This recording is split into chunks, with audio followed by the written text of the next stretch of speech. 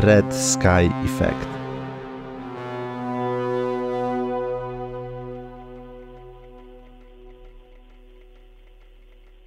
Szklanki tańczą na stole w mesie, gdy statek kolejny raz koryguje lot zakłócony przez marsjańską grawitację.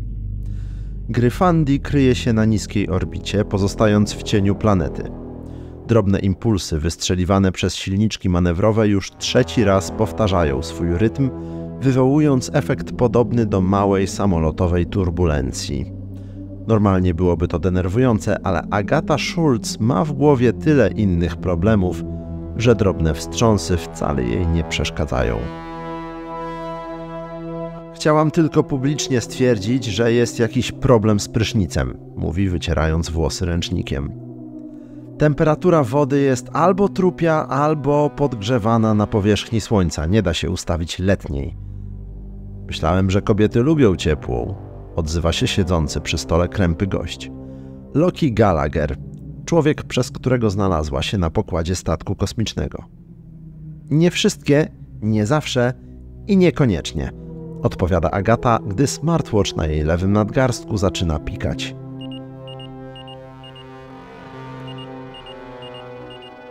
Ale przynajmniej mam kolejne zadanie odhaczone z listy. Ablucja, do widzenia. Co dalej? Zażycie kryoprotektantów? Co to niby jest? Drugi z obecnych w mesie mężczyzn podaje jej szklanego tamblera wypełnionego szarym śluzem. Wypij, mówi. To sprawi, że nie pękną ci żyły, gdy już poddamy cię hibernacji. Agata bierze do ręki szklankę i przygląda się zawartości. Dziewczyną wstrząsa dreszcz, jakby miała odruch wymiotny. To jakiś glut, na pewno muszę to pić? Nie narzekaj, upomina Gallagher. Tom zrobił nową mieszankę o smaku truskawkowym, solidne dwa łyki i po sprawie.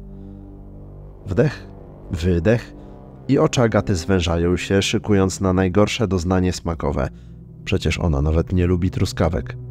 Do pożygu, mówi do siebie Schulz i jednym haustem wypija zawartość szklanki, po czym skula się, łapiąc raptownie za brzuch. Spokojnie, to tylko chwila, uspokaja drugi z mężczyzn Tom. To naturalna reakcja, ale trwa tylko kilka sekund. Tom. Kuglarz Tom. Seryjny morderca. Agata do tej pory nie może uwierzyć, że taki człowiek również jest zamieszany w całą sprawę. Sprawę, która wygląda jak tani film sci-fi albo naprawdę pokręcony trip na kwasie. Bo przecież Tom był wtedy w restauracji, prawda? Gdy wybuchła bomba. Przecież zginął, podobnie jak jej mafijny partner Nick – tamten agent FBI, policjanci i ten cały przeklęty Sishin Labo. Wszyscy zginęli. Ona uratowała się jako jedyna. A jednak nie. Jakimś cudem człowiek znany opinii półświadka jako kuglarz Tom, psychopata i morderca, siedział właśnie przed nią przy stole mesy na statku kosmicznym i podawał jej najokropniejszy na świecie napój, który miał ją przygotować do trwającego tysiąc lat snu w kriokomorze – i Bóg jeden wie, dlaczego cała ta sytuacja miała dla Agaty sens. Może to przez ten statek. Pierwotnie uwierzyła w wyjaśnienia Lokiego o całej tej sytuacji, ale im dłużej o nich myślała, tym bardziej dziwiła się temu, jak bardzo pokręcona jest ta nowa rzeczywistość, w której się znalazła. Czy możemy jeszcze raz podsumować waszą, ahem, naszą historię? Pyta, gdy mija jej skurcz żołądka wywołany przez dziwną substancję, która obok truskawek nawet nie stała. Znowu Tom przewraca oczami. Poczekaj, wyjmę coś mocniejszego, bo inaczej tego nie zmęczę. Lukas, chcesz? Dzięki. Gallagher pokazuje otwartą dłoń na znak odmowy. Może, Agata, teraz dla odmiany ty nam powiesz, jak to wszystko widzisz. Może coś jest dla ciebie niejasne. Schulz wzdycha, tęsknie patrząc, jak kuglarz Tom nalewa sobie do szklanki nieco Hokonui Moonshine. Niby tani bimber, ale w obecnej sytuacji i to by się przydało. Może wypaliłoby do reszty posmak tych rzekomych truskawek, ale nie. Pewnie i tak po wypiciu tamtego świństwa nie może nic już więcej jeść ani pić. Dobra, więc od początku. Agata pochyla się nad stołem, skupiając wzrok mężczyzn na sobie. Ta rzeczywistość jest tylko symulacją, którą odkryliście w swoim prawdziwym świecie, tak? Tak, mówi Tom. Nie, zaprzecza Loki. Nie wiadomo dokładnie, która rzeczywistość jest pierwotną, a która tylko odwzorowaną. Być może od zawsze istniały obok siebie, od początku, a teraz tylko udało się nam je odkryć i między nimi przenikać. Ważne jest jednak to, że w tamtym świecie mamy o wiele większą kontrolę nad tym, co widzimy w tym świecie, jak chcemy go obserwować oraz w którym momencie jego istnienia chcemy się tutaj przenieść. Agata niemo kiwa głową. Dopiero po chwili decyduje się kontynuować. Ale gdy przenosicie się między światami, nie pojawiacie się w nowej rzeczywistości jako wy sami, ale jako inni ludzie, tak? Ty, Gallagher, przeniosłeś się z naszego świata tam i żyłeś jako multimilioner, tak? I tam poznałeś Toma, który w tamtej rzeczywistości był genialnym wynalazcą, tak? I strasznym nudziarzem, kwituje Tom, krzywiąc się po degustacji alkoholu. Wcielając się w inne ciała zmienia się nam osobowość. Jako Tyler Brawls jestem typowym introwertykiem, w dodatku łatwowiernym.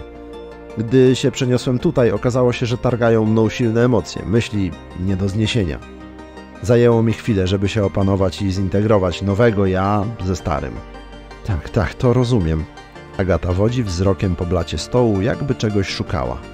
Ale nie ogarniam, co w takim razie dzieje się z waszymi ciałami, ze starymi wami, gdy nie ma was w waszym oryginalnym świecie. Co, leżycie sobie tam nieprzytomni i czas biegnie dalej? Tym razem i Lukas nachyla się nad stołem. Też tak początkowo myślałem, ale okazało się, że jest inaczej. Zaczyna.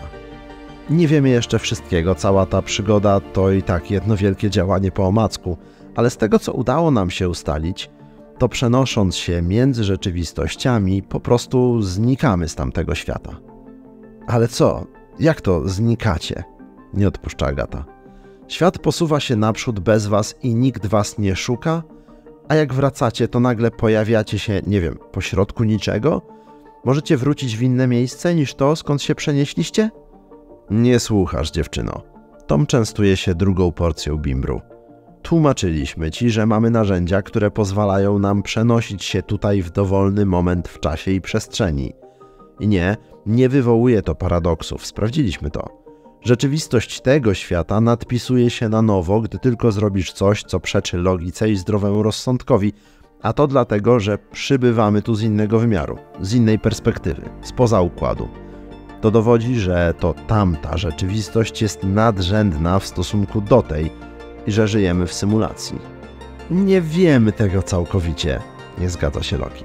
Nie mamy tego przebadanego. Za każdym razem, gdy przenosimy się tam, wybieramy dla bezpieczeństwa to samo miejsce i czas, czyli wracamy do punktu, w którym zniknęliśmy. I dobrze, robimy tak dla bezpieczeństwa, bo nie rozumiemy jeszcze całego procesu, ale i tak wiemy, że odchylenia czasowe występują, nawet do kilku godzin. Nie muszę Ci chyba przypominać, Tom, że mamy w planach modyfikację przejścia i że prawdopodobnie da się podróżować w czasie i przestrzeni, również przeskakując stąd tam. Bzdury. Krótko kwituje drugi mężczyzna, po czym jednym haustem wypija przygotowaną przed chwilą porcję alkoholu. Dobra, czyli nie wiecie, podsumowuje Agata. Okej, okay, kolejna kwestia. Anomalie i artefakty. O co chodzi? Proste. Patrz. Odpowiada Tom, po czym z impetem ciska pustą szklanką o podłogę. Naczynie rozbija się na setki kawałeczków. Będziesz tu musiał posprzątać, wiesz? Rzuca Lukas. Kuglarz tylko macha na to ręką. To się dzieje, gdy wywołujesz w tym uniwersum paradoks, wyjaśnia. Część rzeczywistości musi się rozpaść, by mogła się nadpisać na nowo. Mówiąc to, Tom sięga na środek stołu, gdzie w koszyczku stoją kolejne szklanki. Wyciąga nowego tamblera, prawie identycznego jak ten ostatni, ale z innymi żłobieniami na ściankach. Proszę, to jest nasza nowa rzeczywistość, mówi. Pozbawiona błędów, logiczna, kompletna. Ale, ale, co my tutaj mamy? Powiedziawszy to, schyla się i sięga ku podłodze, skąd ostrożnie podnosi nieco szklanych drobinek. Wsypuje je do nowej szklanki. To pozostałości po dawnym świecie, prawda? Kontynuuje pokaz. Zwróć tylko uwagę, że nie przypominają już starej rzeczywistości, a do tego zanurzone są w tej nowej. Anomalie. Ludzie z niezwykłymi nadnaturalnymi cechami i zdolnościami. Ludzie tacy jak ty. Agata wpatruje się w szklankę z otwartymi ustami. Światło lamp odbija się od okruszków szkła, które mienią się kolorowymi refleksami niczym nocne gwiazdy na firmamencie. Tak rzadko można było oglądać gwiazdy na niebie, mówi dziewczyna, jakby w eter rzucając swoje przemyślenia.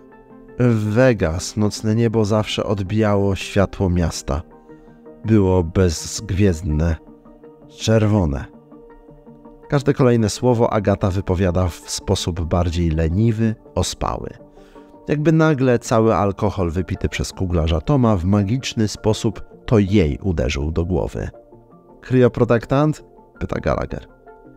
Tak, w końcu zaczyna działać. Bierzemy ją do komory.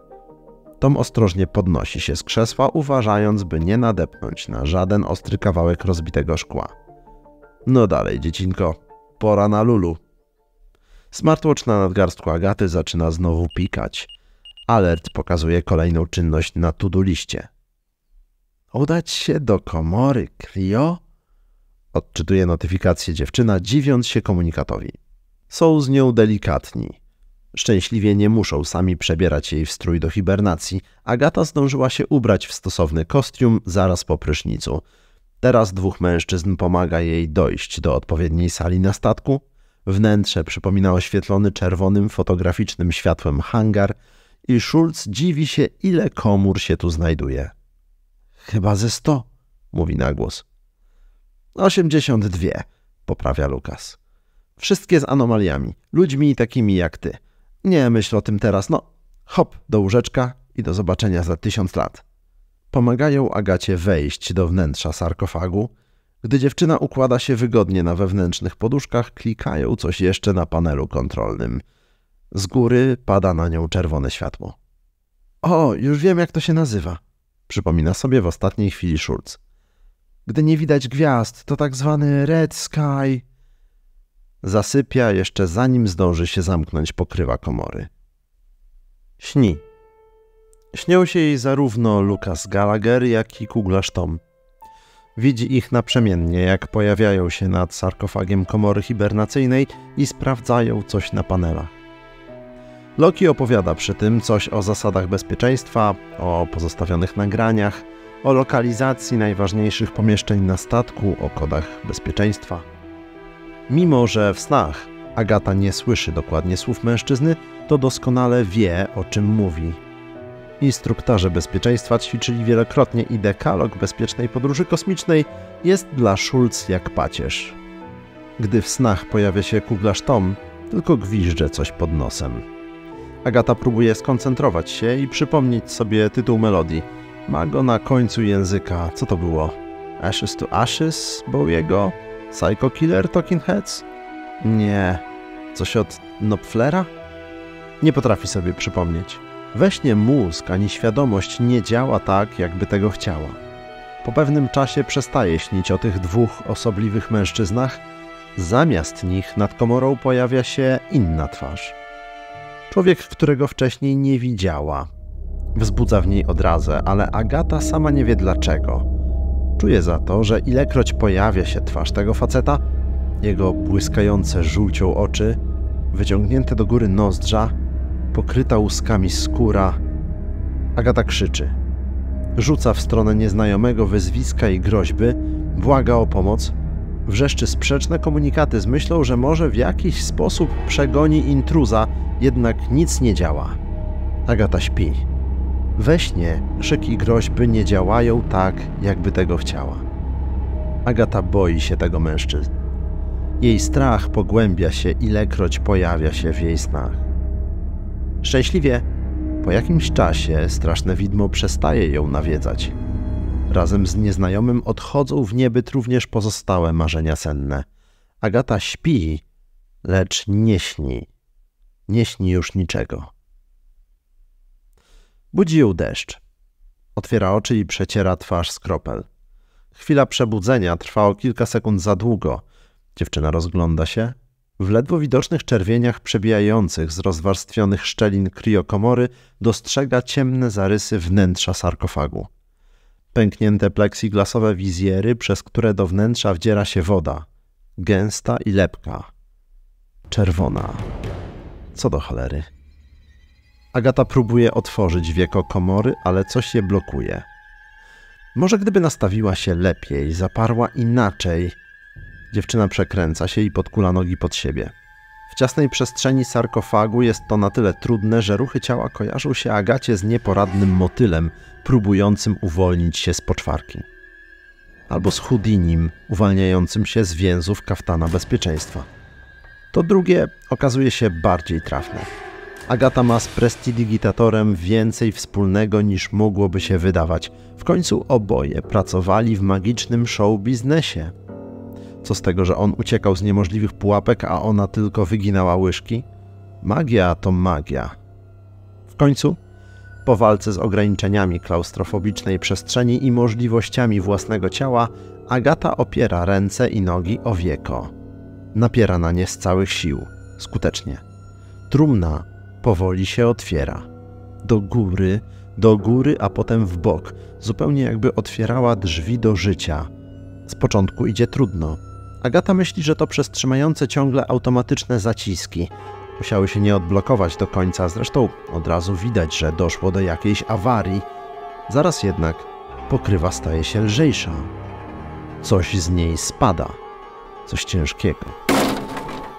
Agata słyszy tylko głuche uderzenie o podłogę, ale to wystarczy, by ciało samoczynnie zacisnęło mocno powieki. To tylko twoja wyobraźnia, dziewczyno, to tylko twoja wyobraźnia. Oczy pozwalają się otworzyć dopiero gdy siada na płasko. Rozgląda się. Z pozoru pomieszczenie wygląda zupełnie tak jak w momencie, gdy zasypiała.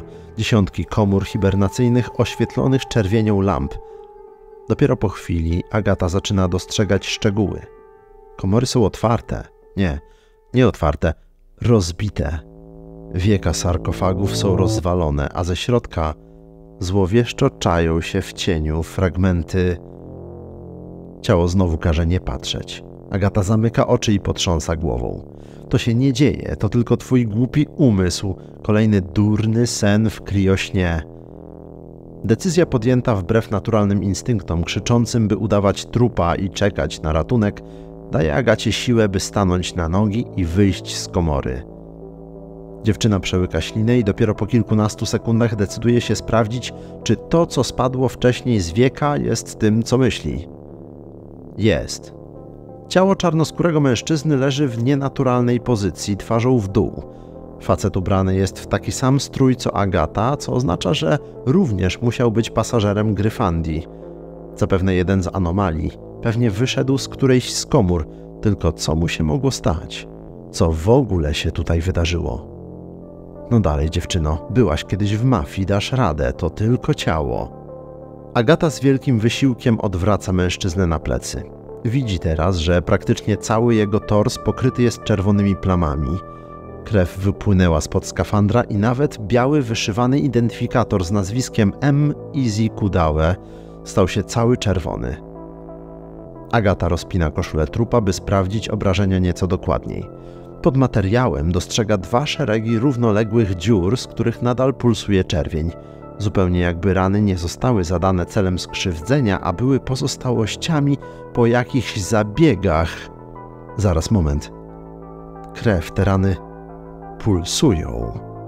Agata przykłada dwa palce do szyi mężczyzny, szuka tętna. Coś łapie ją za nadgarstek. Ktoś. Serce Agaty staje na czas, gdy trup zasysa w siebie powietrze. Błyszczące białka szeroko otwartych oczu patrzą na nią z przerażeniem.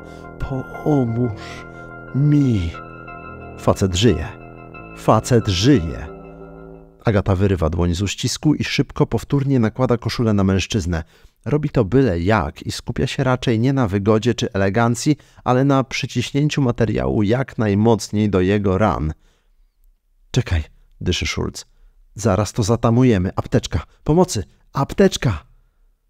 Karmiony adrenaliną umysł podsuwa jej wspomnienie kursu zasad bezpieczeństwa, jaki dostała zanim podjęła się hibernacji.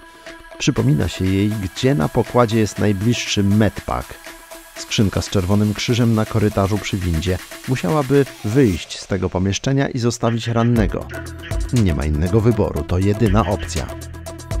Wrócę tu, czekaj. Spokojnie, wrócę. Agata biegnie przez labirynt komór hibernacyjnych. Czuje, jakby był to bieg z przeszkodami, bo kątem oka dostrzega leżące pod jej nogami kończyny, które musi przeskakiwać, by nie stracić tempa. Kończyny? Nie myśl o tym teraz, liczy się tylko dostać do apteczki. Skrzynka z medpakiem, jak kazano jej mówić na zestaw leczniczy, jest przyczepiona do ściany tuż obok windy. Agata zauważa, że panel dostępowy do dźwigu świeci się jak choinka, co każe sądzić, że szyb nie nadaje się do użytku. Nieistotne. Przyszła tu po co innego. Zdejmuje całą skrzynkę i biegiem wraca jeszcze szybciej niż wcześniej. Już kiedyś tak biegła. Trzymała w rękach ratunek ostatniej szansy. Tylko wtedy nie był to futurystyczny medpack, a defibrylator zdjęty z filaru na stacji MGM kolei jednoszynowej w Vegas. Przepraszam, przepraszam, rozpychała łokciami tłum i trzeba było przyznać, że jak na drobną osiemnastolatkę całkiem nieźle jej to wychodziło. Ludzie rozsuwali się jakby z obawy przed uderzeniem w bok przez spanikowaną dziewczynę. Wreszcie udało się jej dotrzeć do środka kółeczka stworzonego z gapiów. Ludzie ciasnym kordonem otaczali leżącego na ziemi mężczyznę. Tato! Dopadła do niego Agata i od razu zaczęła zdejmować z leżącego płaszcz i rozpinać koszulę. Spod filców i flaneli zniszczonych z wałów odzieży wydobył się swąd moczu i alkoholu. Ludzie niczym w teledyskowej choreografii jednocześnie odsunęli się o krok. To lump jakiś. Weź go zostaw, jeszcze się czymś zarazisz. Mąż już zadzwonił na 911, zaraz ktoś przyjedzie, służby się nim zajmą. Ale Agata wiedziała, że nie może słuchać gapiów. Nie w takiej chwili. Nie, gdy nie było nic do stracenia, gdy liczyła się każda sekunda. Zobaczyła odsłoniętą klatkę piersiową ojca i chwyciła w ręce plastikową skrzynkę zestawu AED. Wyciągnęła z niej zaplombowane elektrody. Ktoś wie, jak to obsługiwać? rzuciła w tłum. Bez odpowiedzi. Czy ktoś do cholery wie, jak się to zakłada? krzyknęła ponownie. Kilka osób odwróciło wzrok. Jedna schowała się za kimś innym. Większość nadal patrzyła tempo, gdy Agata nieporadnie rozdzierała zabezpieczenia i przyklejała pady elektrod do klatki piersiowej rodzica na chybił trafił, ignorując w stresie instrukcję obrazkową na urządzeniu. Wiedziała, że go nie uratuje, lecz próbowała mimo to. Przy ósmym wstrząsie, gdy tłum częściowo już zniknął, bo ludzie weszli do wagonów monorailu, Agata spojrzała przez okno, szukając pomocy w siłach niebios ale nocą w Las Vegas nie widać nieba. Widać tylko aurę czerwonych świateł odbijających się z ulic miasta, które nigdy nie śpi. Dlaczego teraz przypomina sobie tamtą chwilę? Przecież to już dawno minęło. To przecież jej stare życie, a teraz, tu i teraz ma przed sobą inną sprawę, inny przypadek, inną sytuację. Wraca do umierającego i ze zdziwieniem odkrywa, że mężczyzna nadal jest przytomny. Oddycha głęboko. Dziewczyna z niepewnością kolejny raz odsłania jego tułów. Ze zdziwieniem patrzy na rany, które krwawią już jakby mniej. Definitywnie mniej. Może będzie szansa go uratować. Agata otwiera skrzynkę z medpakiem i wyjmuje stamtąd podręczny skaner. Urządzenie zapala się na niebiesko, omiatając światłem ciało rannego. Na ekranie wewnątrz skrzynki wyświetla się komunikat czytany na głos przez automat. Liczne rany kłute ryzyko przebicia płuc. Przygotowuje Mediżel. Schulz czeka, aż niebieska kreska wypełni ekran ładowania. Nerwowo klepiąc się po kolanie, patrzy jak skala procentowa zbliża się do setki. Za wolno. Spokojnie, mówi. Sama nie wie, czy do rannego, czy bardziej do siebie. Zaraz będzie gotowe, dodaje. Gdy tylko sygnał dźwiękowy sygnalizuje, że mieszanka ratunkowa jest już gotowa, Agata od razu chwyta dozownik i wciska spust. Aplikuje półprzezroczystą mieszankę prosto na klatkę piersiową rannego. Żel zasycha natychmiastowo, zmieniając kolor na jasno-niebieski. Na skórze mężczyzny tworzy coś, co wygląda jak sztuczny strup, pod którym zachodzi regeneracja tkanek. Agata ciężko wzdycha, a jej ramiona opadają nisko, sygnalizując chwilowe pozbycie się stresu. Jeden pożar właśnie został zażegnany i w przeciwieństwie do niechcianego wspomnienia, które znienacka wypłynęło z bagna wspomnień na powierzchnię świadomości, tym razem udało się pokonać widmo śmierci. Tym razem się udało. Dziewczyna patrzy w czerwoną lampę na suficie. Bierze głęboki wdech. Tak smakuje odkupienie. W chwili odpoczynku postanawia, co robić dalej – w jakkolwiek obcej i nieznanej sytuacji się znalazła, powinna mieć jakiś plan działania, który przede wszystkim musi prowadzić ją do odpowiedzi na pytanie, co się tutaj stało.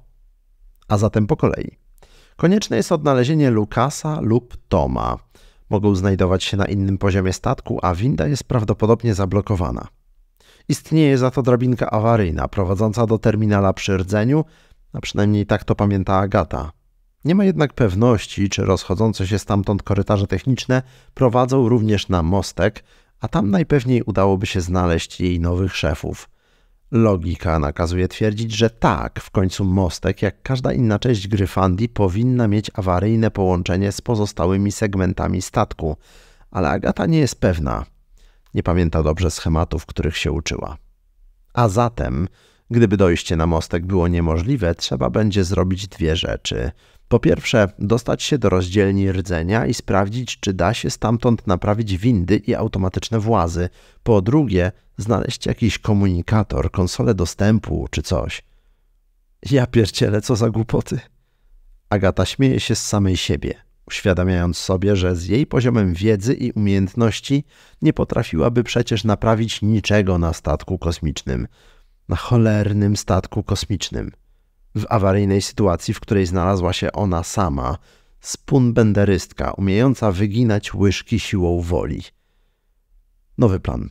Poczeka tutaj, aż Mediżel dostatecznie naprawi tego rannego typka, który leżał na jej komorze hibernacyjnej. Potem razem z nim zastanowi się, co robić dalej. Tak, nie wolno go przecież zostawić. Trzeba się na nim skupić, skupić i nie myśleć o cmentarzysku dookoła. Schulz opuszcza głowę i przenosi wzrok z sufitu na rannego. Niespodziewanie mężczyzna siedzi przed nią i z uwagą wpatruje się w jej twarz. A! podskakuje przestraszona dziewczyna. Facet przed nią nawet nie drgnął. Schulz. Odzywa się nieznajomy i wskazuje palcem na identyfikator wyszyty na uniformie kobiety. Nazywasz się Schulz, prawda? Agata kiwa głową. Jestem marszal. Mężczyzna stuka palcem w niebieski strup na torsie. Dziękuję za to. Dzięki temu szybciej mogę dojść do siebie. Jakim cudem siedzisz i ze mną gadasz? Przerywa Agata. Jeszcze przed chwilą wykrwawiałeś się na moich oczach. Byłeś o krok od śmierci. Jakim cudem teraz jesteś już w takim stanie? Nie wiem, chyba... Uśmiecha się marszal. Po raz pierwszy jego twarz nabiera jakiegoś wyrazu. Podejrzewam, że Gallagher mówi na takich jak ja anomalie. Ludzie o nietypowych zdolnościach. Wiesz o czym mówię? Dziewczyna kiwa głową. Moją zdolnością jest nietykalność, to znaczy była. Do niedawna sądziłem, że nic nie może mnie skrzywdzić. Nie sądziłem, że to moja wrodzona umiejętność, raczej coś narzuconego mi z zewnątrz. Tak to czułem. Przeznaczenie, karma. Chociaż ostatnio chyba ta zdolność mnie opuściła. Nie dość, że Gallagher z tym drugim wzięli mnie siłą na statek, to jeszcze teraz... Z tym drugim? Dopytuje Agata. Mówisz o Tomie, o kuglarzu? Nie znam żadnego kuglarza. Ten drugi, jak mu było, chudzielec, również był anomalią, łowcą. Potrafił wyczuwać podobnych sobie. W ten sposób nie znalazł. Skołowana iluzjonistka z Vegas, próbująca w przeszłości naprawić swoją karierę przez dołączenie do mafijnego gangu, z niezrozumieniem w oczach słucha historii mężczyzny. Przypomina sobie też, jak sama dołączyła do Lukasa Gallaghera. To zupełnie inna historia znajomości. Słuchaj, zagaduje w końcu marszala. Nie wiesz, co się tutaj wydarzyło? Dlaczego leżałeś ranny na mojej komorze? Albo dlaczego wszyscy w pozostałych komorach nie żyją? Izzy Kudawe podnosi się na nogi rozgląda wokoło. Na boka ten Mediżel działa cuda. Na pokładzie jest potwór, mówi mężczyzna. Co? Potwór. Wiem, jak to brzmi, ale fakty są takie, że nie jest to nic, co specjalnie odbiega od ogólnej sytuacji, w jakiej jesteśmy. Agata musi się zgodzić. Powoli przytakuje. Wygląda jak chodzący pomiot piekieł. Nigdy niczego takiego nie widziałem, a dostrzegłem go tylko przez chwilę. Już sama jego bliskość, ten zapach, aura przyprawiały o wymioty. Gdy kątem oka dostrzegłem go czającego się w korytarzu, od razu wystrzelił mi bezpiecznik. Marszal pokazuje na klatkę piersiową. Mam w sobie 12 sztucznych serc, które służą za bezpieczniki na wypadek, gdyby coś stało się z tym podstawowym. Oczy Agaty rozszerzają się do rozmiarów talerza. Chciałem włączyć światło na statku, ale omyłkowo wywołałem jakąś awarię. Tak czy inaczej, próbowałem walczyć z tym czymś. Znalazłem go tutaj, gdy wykańczał ludzi w komorach. Chciałem walczyć, ale nie dałem rady. Kosztowało mnie to siedem kolejnych serc. System się przegrzał i padłem jak stałem. A potem ty mnie opatrzyłaś. Powiedziawszy ostatnie słowa, marszał zaczyna odrywać z torsu niebieski plaster. Odchodzi z dźwiękiem urywanej taśmy, po czym mężczyzna wyrzuca go na podłogę. Na jego klatce piersiowej widać zasklepioną skórę w ośmiu miejscach, z których wcześniej sączyła się krew. Tym razem Agata również wstaje. Patrzy z bliska na roślejszego od siebie mężczyznę, niepewnie unosi dłoń i ostrożnie zbliża do torsu marszala. Patrzy uratowanemu w oczy, w niewypowiedziany sposób pytając, czy może go dotknąć. Nie widząc sprzeciwu, gładzi delikatnie w miejscach, gdzie jeszcze niedawno widziała groźne rany. To niemożliwe, szepce. Program augmentujący z El Bataillon, armia najemna. Fundowali takie rzeczy jeszcze przed pierwszymi nekrozombie. Co? Agata nic nie rozumie. Jacy nekrozombie? Czekaj, skąd ty jesteś? Nie, który był rok, gdy trafiłeś na pokład Gryfandii? A u ciebie który? Marszal odbija piłeczkę. 2008, szczerze odpowiada dziewczyna. Marszal milczy. Odsuwa się od wybawicielki i podnosi z podłogi koszulę swojego uniformu. Zakrwawiona, raczej nie nadaje się już do noszenia i mężczyzna odrzuca ją od siebie. Widząc, jak materiał zawija w powietrzu i tworzy coś w stylu pętli, zanim opadnie na dół, do głowy przychodzi mu pewna myśl. Kilka razy tupie w podłogę, a potem podskakuje lekko, a następnie dwa razy wysoko. Niecałe 1G, mówi. Grawitacja? Upewnia się Agata, stara się nadążyć za rozumowaniem mężczyzny i zmienną sytuacją. No tak, statek ma sztuczne ciążenie. Nie, zaprzecza marszał. Sztuczne ciążenie, jakkolwiek niestworzone, prawie nigdy nie będzie idealne jak teraz. Zazwyczaj ustawia się pełne 1G dla uproszczenia sytuacji. Prościej jest nadać statkowi taki ciąg, by dobić do liczby całkowitej, a tutaj mamy równe 9,81 metrów na sekundę kwadrat. Przynajmniej takie małe odczyty to dokładne przyspieszenie ziemskie. Schulz patrzy na niego, podnosząc brwi. Czy ty jesteś jakimś cyborgiem, czy jak? Marszal uśmiecha się lekko, po raz drugi, odkąd go poznała.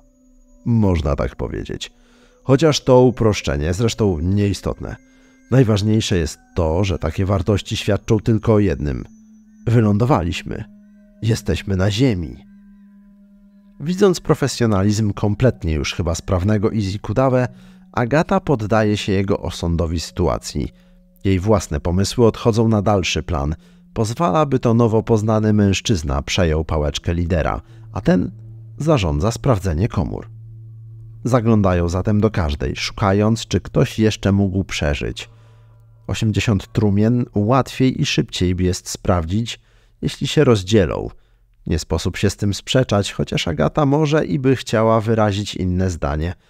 Nie robi tego jednak i podczas gdy marszał zagląda do sarkofagów leżących głębiej w pomieszczeniu, ona skupia się na tych bliżej wyjścia. Skupia. Dobre sobie. Początkowo może i próbuje szukać żywych, ale po kolejnym trupie z rozwaloną czaszką, zgniecionymi na pulpę i wyprutymi na wierzch wnętrznościami, czy oderwaną głową, dziewczyna daje sobie spokój. Zamiast dokładnie zaglądać do otwartych skrzyń, szuka tylko śladów krwi czy wystającej kończyny. Jeśli ich nie ma, puka w wieko lub ścianę komory, nie słyszy odpowiedzi i przyjmuje, że na pewno w środku jest ktoś martwy – nie ma sensu sprawdzać. Nie chce sprawdzać. Co innego jej nowy kompan. Schulz widzi, jak po jednej stronie hali Izzy Kudawe dokładnie nachyla się nad każdą strumien. Wkłada do niej ręce, coś grzebie i sprawdza, a potem przenosi się do kolejnego delikwenta. Twardziel. Dobrze, że na niego trafiła. To może uda się jeszcze wyjść z tego cało. Nagle coś każe się Agacie zatrzymać. Jakaś wewnętrzna siła działająca w tle, podczas gdy ona odpłynęła w myśli zabierające ją daleko od tego cmentarzyska. Coś jednak musiało się zadziać. Odpalił się w niej mentalny alert i momentalnie zamarła w miejscu. Po chwili dostrzega, co ją zatrzymało. Z początku tylko kątem oka, ale wrażenie jest tak silne, że za chwilę przenosi całą uwagę w miejsce, gdzie dojrzała ruch. Faktycznie, wystająca z komory dłoń się porusza. Lekko kiwa palcem. Agata podbiega i sprawdza wnętrze. W środku leży kobieta. Hinduska, starsza od niej. Ma na sobie standardowy kostium pasażera statku z kilkoma rozdartymi dziurami wzdłuż żeber. Spod czerwonych strzępek ubrania widać głębokie rany zdradzające wyrwane z impetem fragmenty ciała.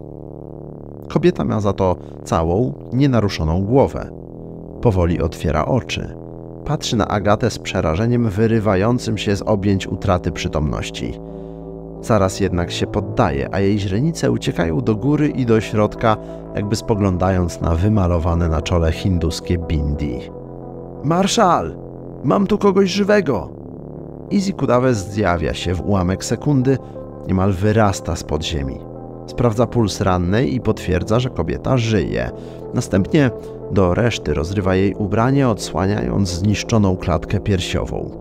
Przygląda się ciału, jakby skanował je w poszukiwaniu informacji o tym, jak poważne są obrażenia. Agata przypomina sobie o medpaku, którego używała wcześniej i natychmiast po niego wraca.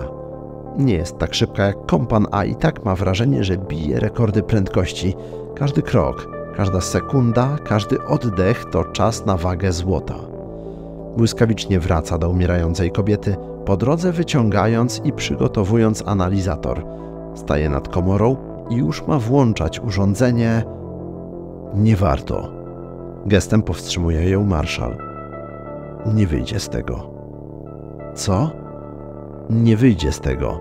Obrażenia są zbyt głębokie. Za chwilę zacznie się dusić własną krwią i umrze w męczarniach. Najlepiej to ukrócić. Izikudawa sięga dłonią do szyi kobiety. Delikatnie szuka tętnicy szyjnej i lekko uciska. Już, po chwili oznajmia mężczyzna. Tyle można było dla niej zrobić. Agata nawet nie zdążyła zareagować. Nie wiedziała jak, a przecież on ją zabił. Uśpił jak chorego psa. Jak Jerego ze wspomnień. Tych cholernych, wracających wspomnień. Jerry nie był stary, chociaż na takiego wyglądał. Mieszanka mastifa i owczarka niemieckiego skutkowała zwałami skóry porośniętej gęstym futrem, wzrokiem zaropiałych brązowych oczu i charakterem milusińskiego żółwia. Agata kochała tego psa. Był dla niej nie tylko towarzyszem w czasie wolnym, przyjacielem w chwilach samotności, był też tarczą, chroniącą przed palącym ciepłem ogniska domowego. Śmierdzi w całym domu, denerwował się ojciec. To od ciebie, capi. Chodzisz wiecznie zawiany, jedzie od ciebie tanią wódą, piskliwie krzyczała matka. Młoda Agata słyszała wszystko mimo zamkniętych drzwi. Mimo przytłumionych dźwięków docierało do niej, że kłótnie rodziców są ważniejsze niż przymusowe zadania z matematyki. Czuła, że nie chce, ale musi ich podsłuchiwać.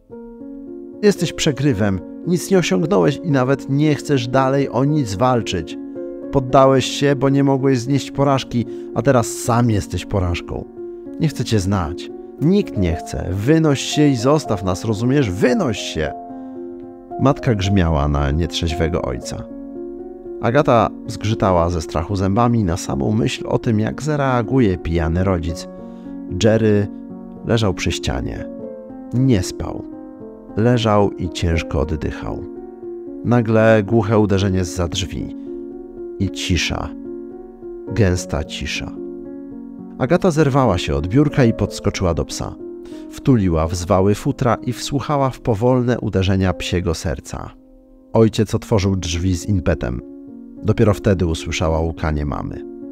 Wstawaj, Jerry, śmierdzielu! zawołał na psa. I Jerry wstał. Bez chwili zwątpienia wstał i podszedł do nogi właściciela. Agata chciała zaprotestować, ale nie była w stanie Podświadomie bała się, że oberwie jak matka. Instynkt kazał jej bać się ojca, a rosnąca w procesie dojrzewania psychika w pokrętny sposób szukała zrozumienia całej sytuacji. Wyszli na zewnątrz, przed dom. Agata patrzyła, jak ojciec bierze psa do ustawionej na podwórzu budy. Widziała, jak przypina Jerego do łańcucha, a następnie owija nim psi pysk, potem szyje zwierzęcia. Jerry nie protestował. Nawet jego drgawki, wywołane brakiem powietrza, nie były raptowne ani intensywne, jakby olbrzym poddał się sytuacji. Poddał się silniejszemu. Gdy było po wszystkim, pijany tato zwrócił się do córki. Otwórz okna w domu. Niech się przewietrzy i zajmij się matką, niech nie leży tak na podłodze. Psychika Agaty kazała jej bez słowa wykonać polecenie rodzica. Kształtująca się postawa młodej kobiety dała do zrozumienia, że tak działa świat, że poddając się silniejszym, dba o siebie. Poza hinduską nie znajdują w komorach już nikogo żywego, chociaż kilka sarkofagów jest pustych. Marszał Easy Kudawe zarządza przejście do dalszej części statku. Z rozmowy, jaką ze sobą prowadzą, wynika, że nie mogą jeszcze opuścić Gryfandii – Mimo najszczerszych chęci Agaty, dziewczyna musi zgodzić się ze swoim towarzyszem i przyznać, że w pierwszej kolejności muszą ustalić, co wydarzyło się na statku, odnaleźć Lokiego Gallaghera lub kuglarza Toma i przede wszystkim zneutralizować zagrożenie. Potwora, który według zeznań mężczyzny miał być odpowiedzialny za te wszystkie śmierci. Korzystają z awaryjnej drabinki, o której wcześniej myślała Schulz. Docierają z jej pomocą do rdzenia statku, gdzie udaje im się w podstawowy sposób naprawić usterki oświetlenia. Rozpoznają panele awaryjne i udaje im się odpalić schematy pomocnicze. Odszyfrowują zapiski i infogramy na tyle, na ile są w stanie, a po chwili docierają do zdalnego zarządzania bezpiecznikami. Uruchamiają ponownie te, które dają się powtórnie załadować i światło na pokładzie zmienia się z awaryjnych czerwonych i niejasnych LEDów na zwykłe, chłodne i jasne, białe światło. Zgodnie z logiką, karmazynowe oświetlenie pozostało już jedynie w hangarze kriokomór. Kolejny cel mostek. Zanim tam dotrą, postanawiają sprawdzić mesę i medlab. Pusto. Chłodno. Gdy docierają do miejsca spotkań, Agata czuje się jak gdyby właśnie odkrywała wnętrza zaginionego Endurance zamrożone echa ostatniej rozmowy, pajęcze nici wspomnień z rozbitej szklanki, widmo oddechu przesiadujących tutaj ludzi. To miejsce to grobowiec, zatopiony setki lat temu lodołamacz próbujący spenetrować zakamarki bieguna północnego. Załoga już dawno została zjedzona przez rekiny, a teraz już tylko dawne miejsca przypominają, że kiedyś było tu życie, że załoganci statków coś wierzyli, że zaufali mężczyźnie, który dał im cel wykraczający poza wszystko, co wiedzieli o świecie. Chcieli odkryć coś nowego i wpłynąć na rzeczywistość, uratować ją. Schulz patrzy na Izzy Kudawę. Widzi, jak mężczyzna metodycznie penetruje szuflady i szafki w poszukiwaniu czegoś użytecznego. Postawa mężczyzny jest zgoła inna od jej podejścia. Tam, gdzie Agata czuje smutek, żal i potrzebę oddania czci poległym dla sprawy ludziom, Marszał dostrzega jedynie śmierć, głupią stratę i konieczność skupienia się na przetrwaniu. To, które podejście do obecnej sytuacji jest lepsze, szybko się klaruje, gdy to Izzy Kudawe jako pierwszy znajduje coś użytecznego. Mam dobrą i złą wiadomość, mówi marszał. Którą chcesz najpierw? Nie wiem, złą? Wzrusza ramionami Agata. Może jak zakończysz na tej dobrej, to będzie jakiś przełom jest na hasło. Co? Nie rozumie dziewczyna. To była zła wiadomość, wyjaśnia marszał. Dobra jest taka, że znalazłem działający datapad. Dowcip. Nie spodziewała się tego. Sama w życiu nie zdobyłaby się na dowcip po tym, co do tej pory przeszli i w czym wciąż tkwią. A jednak błyskotliwy żart działa i wybija Agatę z trupiego nastroju. Przywraca jej energię do działania, podsyca nadzieję, że jakoś z tego wyjdą. Urządzenie faktycznie jest zablokowane, a w dodatku wskaźnik energii pulsuje na czerwono. Wkrótce bateria padnie, więc nie mają wiele czasu na to, by odgadnąć hasło i wejść do środka. To i tak cud, że zasilanie wytrzymało tak długo, o ile faktycznie w zamrożeniu tkwili tysiąc lat, tak jak zaplanował Gallagher. Być może jednak nadzieja na rozwiązanie tajemnicy statku rozpaliła się za szybko, bo jeśli nie wymyślą czegoś w tym momencie, może nigdy nie dowiedzą się, co tak naprawdę wydarzyło się na pokładzie Gryfandii. Muszą odblokować datapad. Spróbuj po nazwie statku albo nazwiskami właścicieli. Wpisz Lucas Loki Gallagher. Podsuwa pomysł Agata. Nic z tego. Sprawdziłem te proste rzeczy jeszcze zanim pokazałem ci urządzenie. Odpowiada Easy Kudawe. Musimy być bardziej kreatywni. Datapad jest częścią wyposażenia statku. Ilu ludzi mogło go używać? Dwóch, podpowiada Schulz. Jednym z nich był Loki, a drugi to seryjny morderca znany jako Kuglarz Tom. Możesz sprawdzić. W tej drugiej rzeczywistości znany był jako Tyler Brawls. B-R-A-L-L-S. Sprawdź. Ekran blokady zmienia swój wygląd i nad ramką z miejscem na hasło pojawia się miniaturowe zdjęcie kuglarza Toma wraz z personalizowanym przywitaniem. Witamy z powrotem, panie Brawls. Proszę podać hasło. Wygląda na to, że to był jego sprzęt, ale wciąż potrzebujemy hasła. Agata, ty znałaś tego gościa. Pomyśl, co nim wiesz. Dziewczyna przygryza górną wargę i szuka odpowiedzi, wodząc wzrokiem po pomieszczeniu. Stara się sobie przypomnieć jakieś szczegóły, cokolwiek co wie o Brolsie i jego życiu po tamtej stronie rzeczywistości. Był wynalazcą, startupowcem. Jego firma już prawie to ma... Brology! krzyczy nagle Schulz. Tak nazywała się jego firma, sprawdź. Easy Kudałe pospiesznie wklepuje hasło na dotykowej klawiaturze na ekranie. Nic z tego, mówi. A w dodatku kończą nam się szanse. Wyskoczyła informacja o pozostałych dwóch próbach, potem, nie wiem, podejrzewam, że datapad zablokuje się na dobre, a potem pewnie wyłączy, bo i tak bateria ledwo ciągnie. Agata zaczyna nerwowo chodzić po pomieszczeniu. Jej palce wędrują we włosy, ciągnąc je, prawie wyrywając. Dziewczyna dziwi się sama sobie, dlaczego tak bardzo ją to rusza, dlaczego się tak denerwuje, dlaczego tak bardzo nie chce zawieść marszala. Hokonu i Moonshine, rzuca w końcu desperacko w stronę mężczyzn. On to pił, lubił ten bimber. Może to? Na wpisane hasło datapad reaguje swoim stałym komunikatem o odrzuceniu. Teraz dorzuca dodatkowo informację o jednej pozostałej szansie. Skup się, dziewczyno, poucza marszal. Brzmi to bardziej jak skarcenie niespokojnego dziecka niż próba motywowania dorosłej osoby. Mówiłaś, że to wynalazca. Może to jest trop.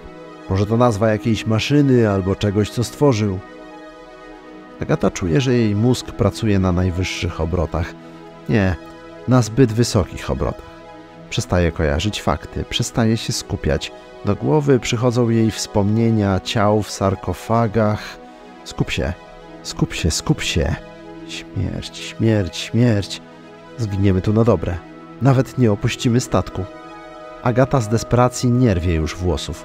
Uderza się pięściami w głowę, prymitywnie licząc na to, że skieruje to jej umysł na właściwe tory, niczym dziecko chcące przestać o czymś myśleć. Przestać myśleć o śmierci. Przestać się bać. Pomyśleć o czymś przyjemnym, czymś dobrym, czymś, co kojarzy się zupełnie inaczej. Truskawki, mówi znienacka, sama dziwiąc się swojej propozycji. Jesteś pewna? dopytuje Izzy Kudawę. To ostatnia szansa. Nie, nie jest... Tak, jestem pewna. To muszą być truskawki, dawaj. Tym razem ekran datapada zmienia się i wyświetla główny pulpit urządzenia. Udało się. Weszli. Co teraz? Marszal Easy Kudawe działa jak burza. Jego palce błyskawicznie otwierają kolejne aplikacje i foldery. Sprawdza coś. Agata nawet sama nie wie co, bo przeglądanie dzieje się tak szybko, że nie nadąża. W pewnym momencie, chyba jest tego nawet za dużo, bo urządzenie się blokuje. Zdaje się, że to bateria, że za chwilę sprzęt padnie, ale nie, to tylko aktualizacja. I zaraz jednocześnie dzieją się dwie rzeczy. Po pierwsze, ręka Agaty zaczyna drżeć i wibrować. Wydaje też zwracający na siebie uwagę dźwięk i dopiero w tym momencie dziewczyna widzi, że na nadgarstku cały czas ma smartwatcha. W tym całym zamieszaniu w ogóle go nie zauważyła, a teraz zegarek się uruchamia i pokazuje jej kolejne zadanie do wykonania? Ruszaj na mostek? Odczytuje zdziwiona Schulz. Mamy iść na mostek. I jest nawet kod, marszal. Nawet jeżeli będą tam jakieś grodzie czy coś, to mamy kod. Czy ty to widzisz? Idź sama. Ponuro odzywa się mężczyzna, nawet nie podnosząc na nią wzroku. Spojrzenie ma wbite w ekran urządzenia. Powiadomienie z datapada dotyczy połączenia się z innymi sprzętami na statku. Urządzenie wykryło smartwatcha Agaty i teraz wyświetla schematyczny plan Gryfandii z migającą kropeczką w mesie. To Agata, nowa osoba poruszająca się po pokładzie. Oprócz niej na ekranie pulsuje jeszcze jedna kropeczka. Ta w medlabie. Ktoś tam jest. To może być Lukas albo Tom, ekscytuje się Agata. Nie, ucina Izzy Kudałę. Skoro nie oni, to kto? Marszal nie mówi, nie musi mówić. Schulz wie, kogo jej partner ma na myśli. Potwór. Moment, gdy bateria datapada ostatecznie umiera i ekran urządzenia pokrywa się czernią, jest dla nich jak wystrzał z pistoletu sygnalizującego rozpoczęcie wyścigu. Ruszają. Początkowo wspólnie, jednym korytarzem, za chwilę jednak się rozdzielają. Agata przystaje na moment i obraca się przez ramię. Powodzenia! rzuca do marszala. Nie daj się tam zabić, panie cyborgu.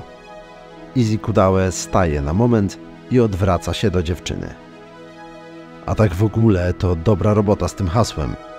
Chwaląc ją, podnosi kciuk do góry. Będzie dobrze, uśmiecha się. Rozdzielają się na dobre, a całą drogę na mostek zajmuje Agacie rozmyślanie o tym pożegnaniu. Dostała pochwałę, coś jej się udało. W końcu przestała być tylko reagującym na rzeczywistość przedmiotem, a zaczęła wpływać na otoczenie, na wydarzenia, na sytuacje. W końcu zaczęła być bohaterką swojej własnej historii i do tego pochwała. Zaledwie krótkie zdanie, ale dla niej znamienne słowa uznania od kogoś takiego jak marszał. Zdała sobie sprawę, że coś ją do niego ciągnęło. To uczucie z tyłu głowy i lekko w żołądku, to zaciśnięcie gardła, gdy z nim rozmawiała, te drżące ręce, gdy na nią patrzył. Znała to uczucie. Pojawiało się za każdym razem, gdy Agata wchodziła w związki i trwało aż do każdorazowego ich rozpadu. Zawsze wtedy jej wybranek i oblubieniec, który dotychczas jawił się niej niczym rycerz na białym koniu, spadał z piedestału, a jego wizerunek w oczach dziewczyny roztrzaskiwał się na kawałki niczym pomnik przewalony w wyniku trzęsienia ziemi. Zawsze tak było. Zawsze, gdy czuła ten dreszcz i przyjemny niepokój, który musiał w końcu znienacka zniknąć. Jak wtedy, gdy jej ostatniego chłopaka złapała policja za posiadanie dragów. Albo wtedy, gdy jej pierwszy poważny partner, jako piętnastolatek, podpalił dom, wsiadł do pociągu i ślad po nim zaginął. Czy wtedy, gdy jej ojciec, ojciec, pierwsza miłość dziewczynki. W dniu, kiedy ich opuścił, jej matka popełniła kardynalny błąd. Postawiła się silniejszemu. Chciała obalić pana ich domu, władcę i protektora. Chciała siłą naprawić męża. Gdzie jest wódka? grzmiał nad nią. Nie ma, mówiłam ci. Mama Agaty złożyła ręce na piersi i spojrzała w kąt kuchni. Gdzie schowałaś butelki?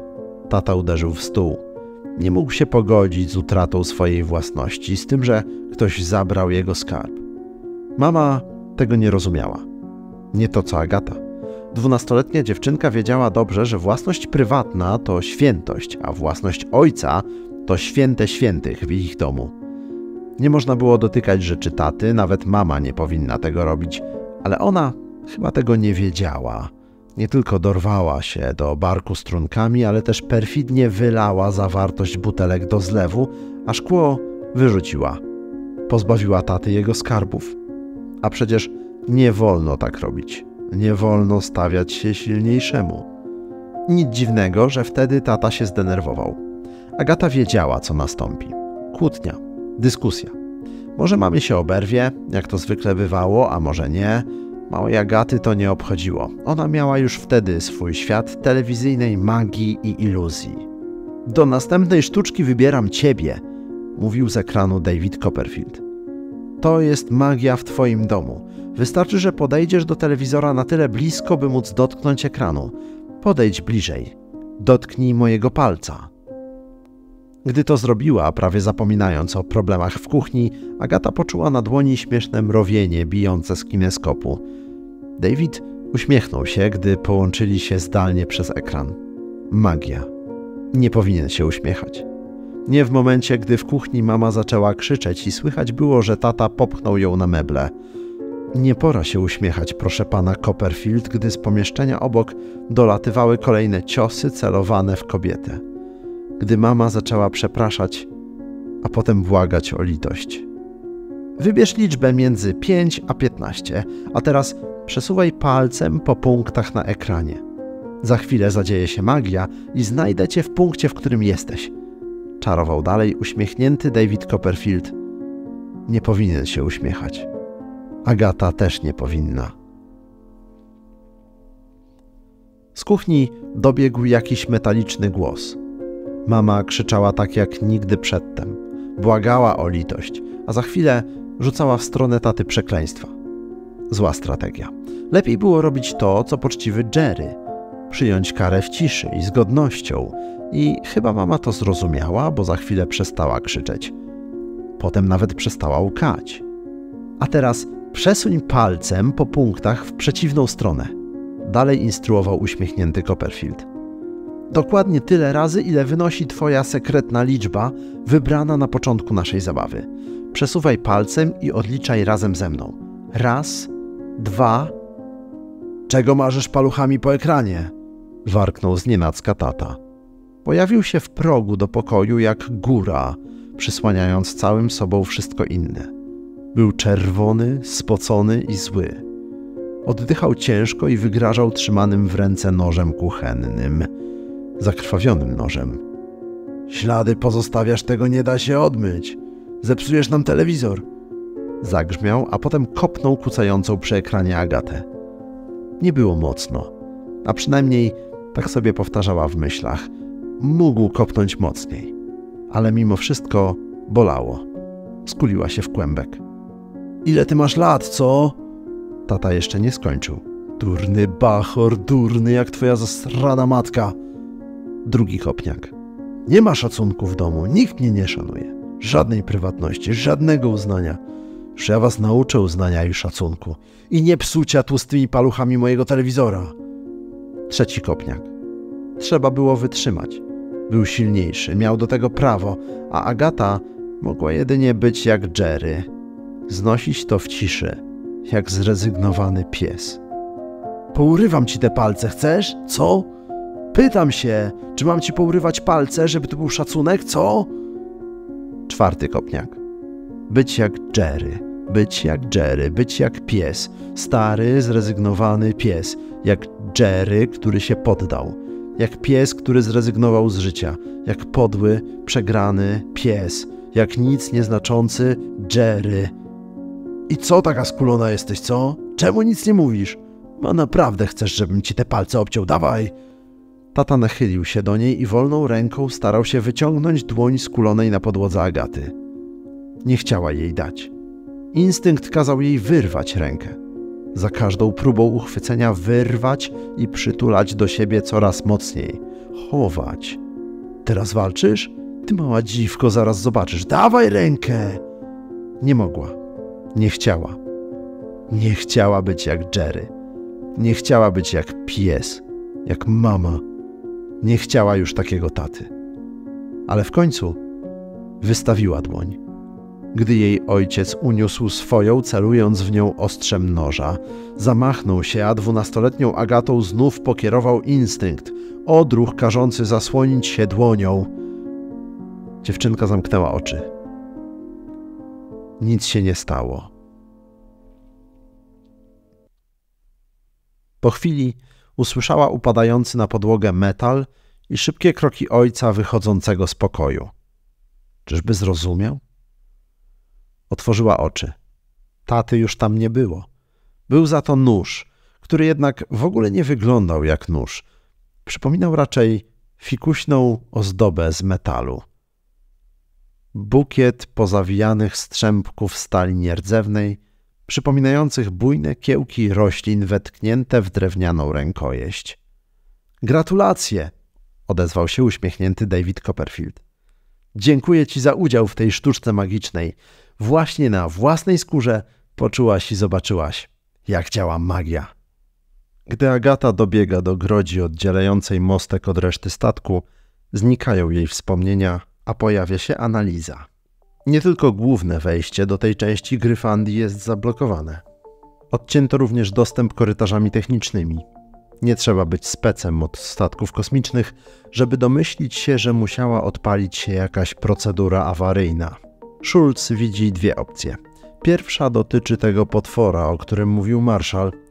Być może systemy statku wykryły, że atakuje ludzi w hibernacji i z tego powodu wyizolowały najważniejszą część pokładu. Inna teza każe jej się zastanowić, czy aby nie doszło do czegoś poważniejszego niż działanie intruza. Nie żeby zabijający wszystkich potwór nie był poważnym zagrożeniem, ale być może wydarzyło się coś jeszcze, co odpaliło systemy alarmowe na tyle silne, by odizolować całość. Może na statku jest jakiś niewidzialny gaz, który ma złowieszczy wpływ na człowieka, a może gdzieś doszło do rozszczelnienia, przez które wdarł się potwór. Może to przez to rozszczelnienie musieli lądować na Ziemi i nie mogli się utrzymywać na orbicie. Cokolwiek było przyczyną zamknięcia się grodzi, teraz nie ma znaczenia. Agata ma kody dostępu, ma je na niedawno aktywowanym smartwatchu, tym samym, z którego korzystała jeszcze przed zaśnięciem w hibernacji, przed tysiącem lat.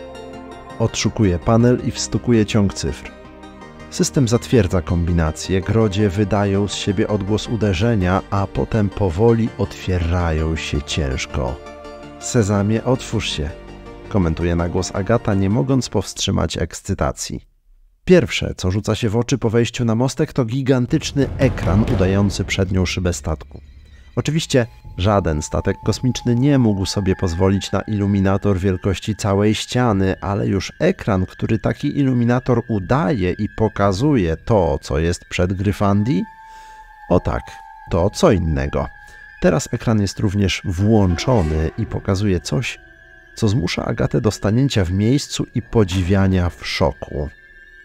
Statek osiadł na szczycie góry pośrodku niczego. Błękitne niebo pokrywa dwie trzecie widoku, a pod linią horyzontu przestrzeń wypełnia rozpalona słońcem skalista pustynia. Nic tu nie ma. Ale zaraz. Czy na pewno? Gdy szok mija i wzrok zaczyna ogarniać ogrom kinowego ekranu z bliska, Agata dostrzega, że na pustyni zarysowują się jakieś kształty, zupełnie jakby bryły geometryczne zatopione w szarości. Zaraz, to chyba budynki, a przynajmniej ich pozostałości. Tak, teraz Schulz widzi to lepiej. W oddali majaczy zniszczone miasto z pourywanymi wieżowcami tworzącymi sylwetkę urbanistycznej zabudowy na tle pomarańczowego skalnego pustkowia. Zabawne, dziewczyna może przysiąc, że ten skyline, na który patrzy, gdzieś już widziała. Jej umysł podpowiada jej nawet gdzie i Agata ma odpowiedź na końcu języka, ale świadomie nie chce jej wypowiedzieć. Nie chce do siebie dopuścić prawdy, którą i tak już poznała.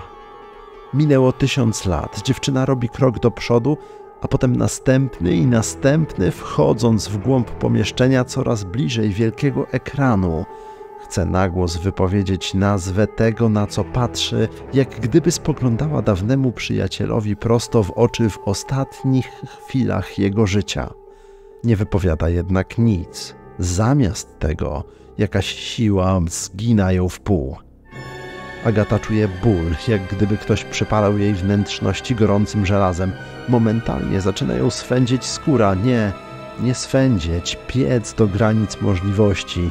Z oczu leją się łzy, a z nosa leci na podłogę stróżka krwi. Schulz osuwa się na kolana. Co się dzieje? Jej krzyk przebija się przez wszystkie płyny, które w tej chwili wysączają się z jej gruczołów ocznych, nosa i gardła. Czuje, jak świat dookoła się zaciemnia. Czuje, że zaraz straci przytomność, ale nie traci jej. Stopniowo i powoli wraca do siebie. Ból mija. Co to było? Odzywa się ponownie sama do siebie. Kim jesteś? Dobiega do niej niespodziewany, ciepły męski głos. Nie rozpoznaje go. Co to za sztuczki? krzyczy dziewczyna, rozgląda się, ale nie widzi tu nikogo. Szukam Lukasa Gallaghera lub kuglarza Toma. Imię i nazwisko albo powtórzę atak. Grozi facet, a Agata ponownie zaczyna czuć się źle. Kręci jej się w głowie, czuje przyspieszone bicie serca i narastające uczucie niepokoju. Dobra, dobra, koleś. Unosi ręce w geście poddania się. Nazywam się Agata Schulz, jestem jedną z anomalii. Obudziłam się w sali kriokomór, tam nikt nie żyje, wszyscy są martwi. Szukam Lukasa Gallaghera lub kuglarza Toma lub w zasadzie kogokolwiek. Wyjdź, pokaż się. Mija kilka sekund przedłużonej ciszy i głos odzywa się ponownie. W porządku, jesteś na liście. Możesz tu podejść, jestem na fotelu kapitańskim.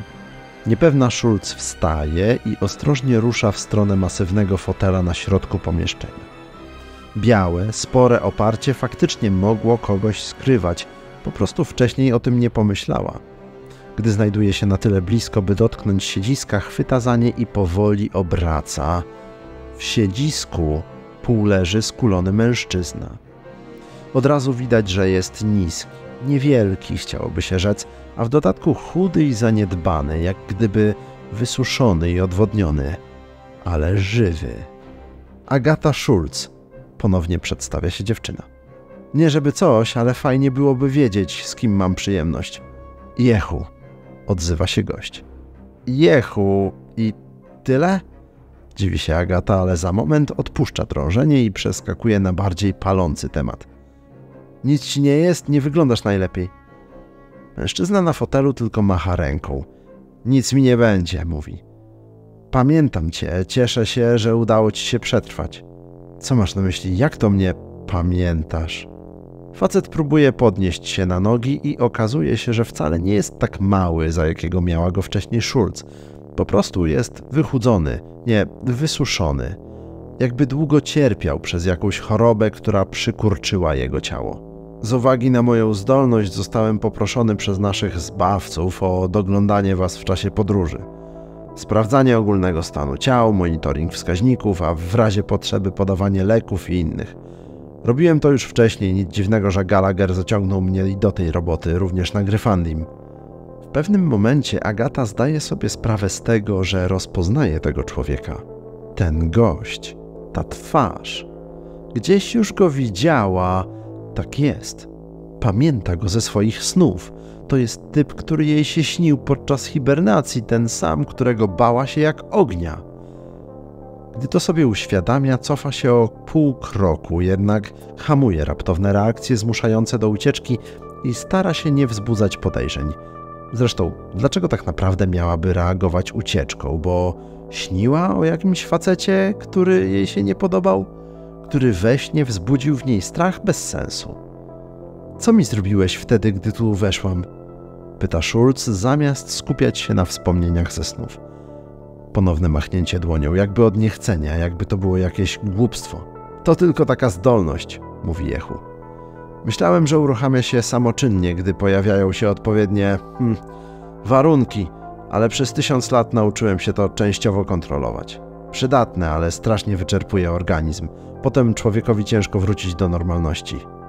Zaraz, czy on właśnie powiedział, że uczył się kontrolowania zdolności przez tysiąc lat i że w tym czasie również wszystkich doglądał?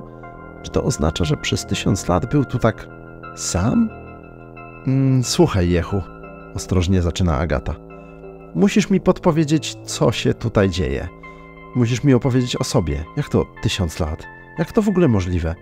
I co do cholery się tutaj stało? Dlaczego byłeś zamknięty na mostku i czy orientujesz się, gdzie psia krew są Gallagher i ten wnerwiający kuglarz? Mężczyzna ponownie siada na kapitańskim fotelu, kręci głową i podnosi rękę. Tylko mi tutaj nie machaj, zwraca uwagę Schulz. Jeszcze raz machniesz mi ręką na znak, że to nic takiego i nieważne, a urwę ci ją jak słowo daje. Jehu opuszcza rękę, kręci za to głową i cmoka trzy razy. Po pierwsze, tysiąc lat to nic takiego. Naprawdę, w przeszłości zdarzało mi się dłużej marnować czas. Po drugie, czekanie nie było takie złe. Oprócz oglądania zamrożonych pasażerów, miałem od czasu do czasu rozrywkę, gdy odwiedzali mnie nasi wspólni znajomi, Lukas i Tom. Po trzecie, owszem, mówili, żeby nikogo nie budzić, no ale ile można wytrzymać, co? Człowiek chce do kogoś gębę otworzyć, poznać, skoro mieliśmy według planu ze sobą współpracować, a potem z powrotem do zamrażarki, co za problem. Ostatnie zdanie kończy głębokim westchnieniem. Coś się zatem kryje, widać to od razu. Opowiadaj dalej, zachęca Agata. Co się stało? Dlaczego wszyscy są martwi? Ja ich nie zabiłem, broni się momentalnie Jehu, wyczuwając ukrytą między słowami hipotezę. Słuchaj, to było. Przysiągłem sobie, że nie będę już nikogo zabijał i chcę się tego trzymać, a zdolności używam tylko w obronie własnej, tylko do pewnego momentu, tak? W każdym razie pytasz, co się stało, jakby to powiedzieć. Spośród tych wszystkich 82 sarkofagów tylko jeden był zapieczętowany na trzy spusty. Ten, którego trzeba było pilnować najmocniej. Agata przystępuje z nogi na nogę. Co zrobiłeś, Jehu? dopytuje. To było jak jabłko w Edenie. Nie, żeby kiedyś istniał jakiś Eden, wiesz? Pamiętałbym. Otworzyłeś tę komorę, prawda? To ty wypuściłeś tę bestię, która krąży gdzieś po statku. Jehu chce znowu machnąć ręką, ale powstrzymuje sam siebie. Zamiast tego tylko wzrusza ramionami. Myślałem, że procedura się skończyła, a poza tym brakowało tylko kilku dni do zaplanowanego finału lotu. Ale nie, coś jednak było nie tak. Gdy tylko się ocknął, facet od razu zaczął się rzucać i atakować wszystko dookoła. Uciekałem, broniłem się, nawet parę razy przekroczyłem granicę, której powiedziałem sobie, że nigdy nie przekroczę. Ale moje zdolności tylko kolesia spowalniały, nie mogłem go zabić. Zamiast tego, niechcący, uszkodziłem statek, musieliśmy lądować, systemy przejęły stery. Ja za to miałem ostateczną potyczkę z tym stworem w hali Krio, ale nic z tego. Gość jest bardziej nieśmiertelny niż ja. Zraniłem go i uciekłem tutaj. Zaryglowałem za sobą drzwi i próbowałem wezwać pomoc. Pytałaś, gdzie są Loki i Tom. Cóż, nie ma ich. Mieli przybyć dopiero za dwa dni. Nie ma z nimi kontaktu, dopóki sami nie pojawią się w naszym świecie z tej swojej rzeczywistości, ale kto wie, kiedy raczą to zrobić i czy w ogóle. Poznałaś ich trochę? To wcale nie są tacy dobrzy ludzie, za jakich się podają. Manipulant i psychopata idealne duo na bohaterów ludzkości. Ale w porządku, pomyślałem. Nie można się poddawać. Statek pokazuje, że w miarę bezpiecznie osiedliśmy na dawnej Black Mountain w Nevadzie. Świetnie, niedaleko od cywilizacji. Tyle tylko, że jest środek dnia, a na Ziemi minęło milenium. Tysiąc lat walk plemion, walk o przetrwanie, wyniszczenia i innych małych Armagedonów. Nie możemy wyjść. Promieniowanie by nas zabiło. Was na pewno. Nie jestem pewien co do siebie, ale wolę nie sprawdzać. Ale to tylko kilka godzin, prawda? Zanim się ściemni, tak? Nic prostszego. Mogę tu poczekać, bezpiecznie zamknięty przed tym potworem, tylko że wy nie byliście zamknięci. Wysłałem więc powiadomienia na wasze zegarki. Gdyby ktoś wykrył, że się obudziliście i podpiął do systemu, dostalibyście ode mnie instrukcję, żeby przyjść tutaj. Wysłałem też kod otwarcia, mimo że ryzykowałem, że zamiast jakiejś normalnej osoby pojawi się tu ten morderca. Szczęśliwie jesteś ty. Domyślam się, że przeżyłaś jako jedyna. Na mostku nie ma innego fotela, a szkoda, bo Agata czuje, jak bardzo by się jej teraz przydał. Jest za to kilka stanowisk stojących, przy pulpitach okolonych relingami i rączkami do chwytania. Dziewczyna znajduje w jednym z takich stanowisk w miarę wygodne podparcie. Przenosi ciężar ciała na lewą nogę i przybiera najbardziej zrelaksowaną postawę ciała, na jaką ją teraz stać. Nie chodzi o to, by wyglądać na wyluzowaną, ani nawet by faktycznie odpocząć. Chodzi o to, że powoli zbliża się do granicy wytrzymałości. Jeśli przyjmie jeszcze trochę informacji, to chyba straci przytomność. A przecież musi poznać nowe informacje. Jest jeszcze jeden człowiek, który przeżył, mówi Schulz. On też walczył z tym potworem i właśnie poszedł go ukatrupić. Jeszcze jeden? Sam? Kto taki? Nazywa się Marshall. Marszal Easy Kudawe. Dzięki niemu żyję. Uratował mój sarkofag przed atakiem, a potem ja się odwdzięczyłam, przyspieszając leczenie jego ran. A potem szukaliśmy innych, ale nikogo nie znaleźliśmy. Włączyliśmy jakieś podstawowe funkcje statku, znaleźliśmy stary datapad i mój smartwatch podłączył się pod system. Dostałam Twoją wiadomość, a na mapce, na padzie zobaczyliśmy dwa sygnały aktywnych zegarków. Jeden mój, a drugi w Medlabie. Marszal powiedział, że to pewnie ten potwór i poszedł go załatwić na dobre. I wierzę, że mu się uda, wiesz? On jest cyborgiem, jest naprawdę twardy. Spojrzała na Jehu i momentalnie przestała opowiadać. Jej rozmówca, jej rozmówca ponownie skurczył się na fotelu, tak samo jak wcześniej był skulony do tego stopnia, że cała jego sylwetka mieściła się w olbrzymim cieniu oparcia. Nie patrzył na nią. Jego oczy błyskawicznie przeskakiwały po podłodze to tu, to tam, jakby czegoś szukając. Odpowiedzi, czy raczej ratunku. Gdy wreszcie skierował wzrok na Agatę, oznajmił cicho: Marszal Izzy Kudawe to ta bestia Agata. To jego uwolniłem z sarkofagu. To on wszystkich zabił. Cisza. Szok. Niezrozumienie. Nie, mówi Agata i od razu czuje tę wewnętrzną zmianę. Tę, którą czuła przy swoim ostatnim chłopaku i swoim pierwszym chłopaku. Tę, którą czuła, gdy ojciec opuścił mieszkanie po tym, jak zaatakował ją nożem. Poczuła, jak wstydliwy niepokój ściśniętego gardła zmienia się w zduszony krzyk nienawiści, jak motyle w brzuchu giną w kwasie wściekłości. Nie, powtarza, chociaż zna siebie na tyle dobrze, by wiedzieć, że mówi nieprawdę. Teraz to ona szuka czegoś wzrokiem na podłodze. Szuka odpowiedzi, informacji. Rozbiegane oczy, jak gdyby czytała raport na temat ostatnich wydarzeń. Raport, w którym znajduje to, czego szuka. Smartwatche. Jehu rozesłał wiadomości na smartwatche załogantów. To znaczy, że nie tylko ona je miała, pozostali też musieli. Czy mieli? Czy trupy w kriokomorach miały na nadgarstkach zegarki? Nie pamięta, chyba nie. Może? Może dlatego marszał tak dokładnie badał i przyglądał się zwłokom w sarkofagach, które sprawdzał. Może wyłączał ich kontakt ze światem. A ta hinduska? Dlaczego nawet nie dał Agacie szansy na jej uratowanie, nie podjął nawet próby? Uznał, że uśmiercenie jej będzie aktem łaski i narzucił Agacie tę wizję, a ona nawet nie zdziwiła się takiemu podejściu. A datapad? Przecież zanim pokazał go Agacie, sam próbował się do niego dostać. Dopiero gdy mu się to nie udało, dopiero wtedy raczył poprosić Schulz o pomoc. Wykorzystywał ją. Perfidnie wykorzystywał ją do tego, by dokończyć swoje dzieło. Agata zgina się w pół i wymiotuje. Z pustego żołądka wypadają resztki motylich skrzydeł. Wszystko w porządku? Tym razem to ona macha ręką, jak gdyby nigdy nic. Musimy zamknąć grodzie, nadal grozi nam niebezpieczeństwo, skoro ten potwór ciągle tam jest. Nie, protestuje Schulz. Wychodzimy stąd, Jehu.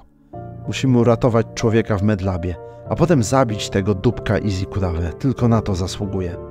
Ale sama powiedziałaś, że to cyborg. Nie dasz mu rady, Agata. Człowiek jest za silny.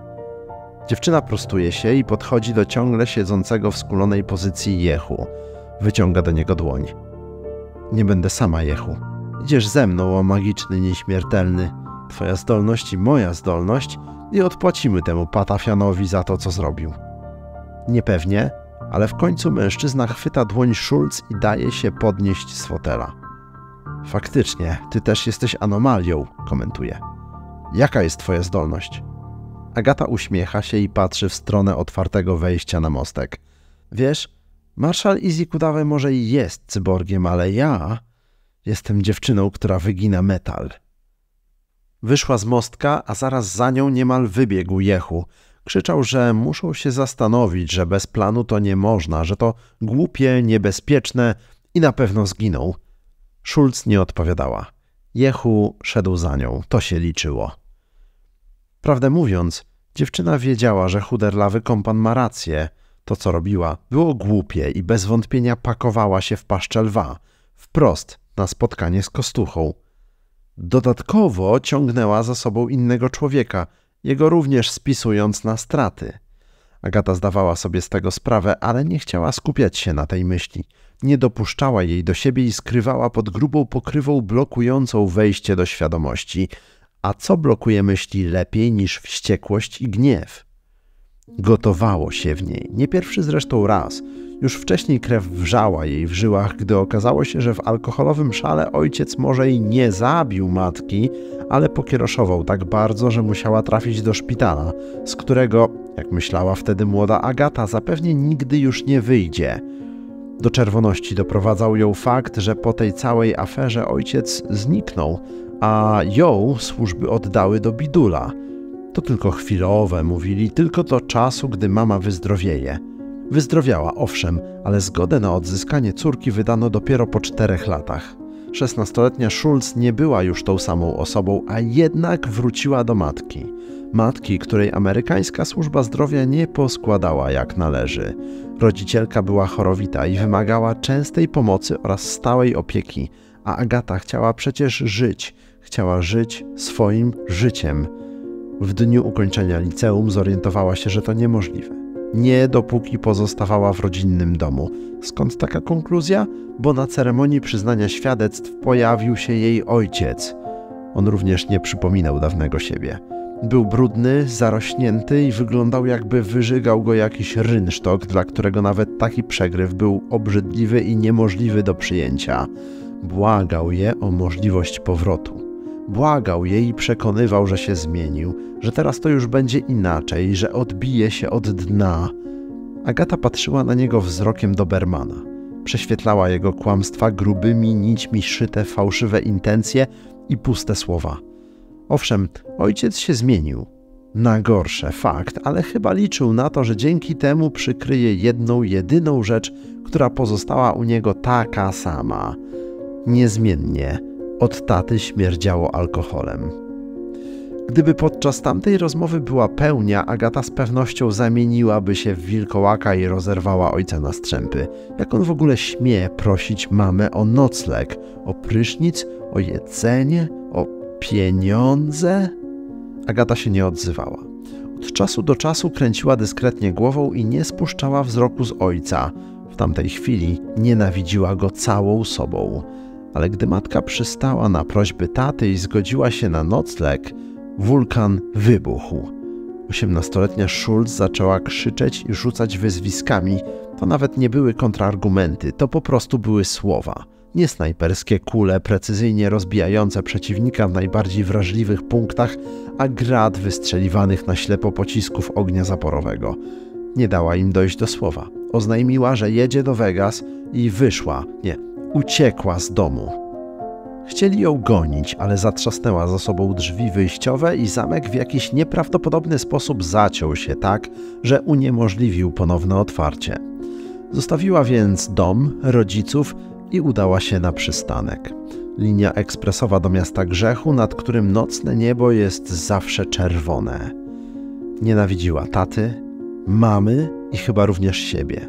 Rodzicom życzyła śmierci modliła się o nią, a każde wypowiedziane amen przynosiło jej lekką otuchę i pchało coraz mocniej w objęcia magii i iluzji i nowego życia na scenach kasyn.